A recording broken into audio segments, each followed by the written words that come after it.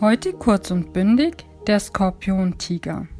Wenn es nicht nach dem Willen der Skorpiontiger geht, stellen sie sich quer und erreichen auf Nebenwegen meist doch das Ziel, das sie sich gesteckt haben.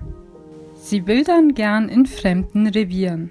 Wer sie aber einmal als Freund gewonnen hat, der kann auf ihre Unterstützung zählen.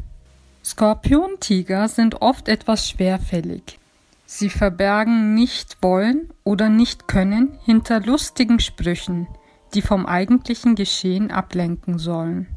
Im Beruf suchen sie die Umwege. Sie lassen gern andere für sich schaffen, schmücken sich jedoch zur Not mit fremden Federn. Wenn sie sehen, dass sie nicht weiterkommen können, arbeiten sie streng nach Vorschrift oder wechseln die Stellung. Im zwischenmenschlichen Bereich sind Skorpiontiger nicht leicht zu nehmen. Ihre Liebe ist fordernd und so manche Geliebte muss sich mit einer Liebesnacht begnügen. Er sucht stets neuen Anschluss, bis er endlich die Frau gefunden zu haben glaubt, mit der er sein Nest bauen kann. Diskussionen sind für ihn überflüssig. Er ist der Herr im Hause, dem man sich zu fügen hat. Das Wort Emanzipation ist diesem selbsternannten Patriarchen unbekannt. Die Skorpion-Tigerfrau reizt die Männer so und so.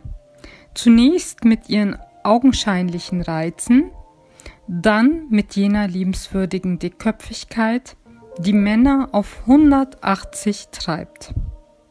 Und wen sie liebt, den versorgt sie gut mit allem, was sein Herz und Magen begehren kann. Weil sie um die Liebe weiß, die durch den Magen geht. Sie will den ganzen Kerl, der sie ständig aufs Neue zu zähmen versucht. So ganz wird das freilich keinem gelingen. Das war der Skorpion-Tiger. Für mehr Videos im Bereich Esoterik, Produkttests, Haushalt und Gesundheitstipps würde ich mich freuen, wenn ihr mich abonniert. Bis zum nächsten Video. Tschüss!